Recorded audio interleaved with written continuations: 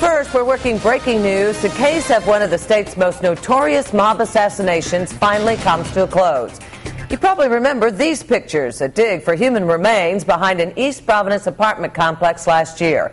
Now, 30 years after mob associate Joseph Joey Onion Scanlon was gunned down, the state has identified his body. Target 12 investigator Tim White broke the story when police discovered Scanlon's body. He joins us now live with details from the Breaking News Center.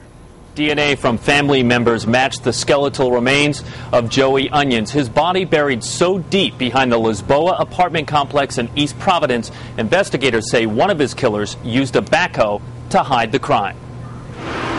After three days of digging November last year, backhoes under the watchful eye of the Rhode Island State Police pull up human remains. Today, the Department of Health confirms it was the body of Joseph Joey Onion Scanlon the victim of a 1978 gangland slaying in Providence.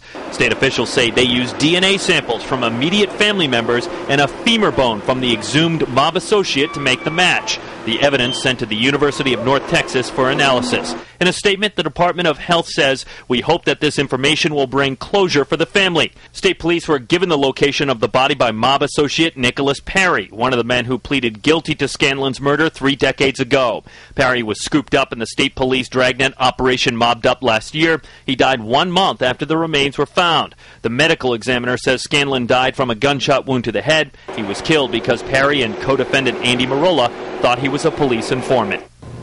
Merola and Pari originally told police they tossed Scanlon in Narragansett Bay. The murder marked the first time in Rhode Island that the prosecutors tried a case without a body.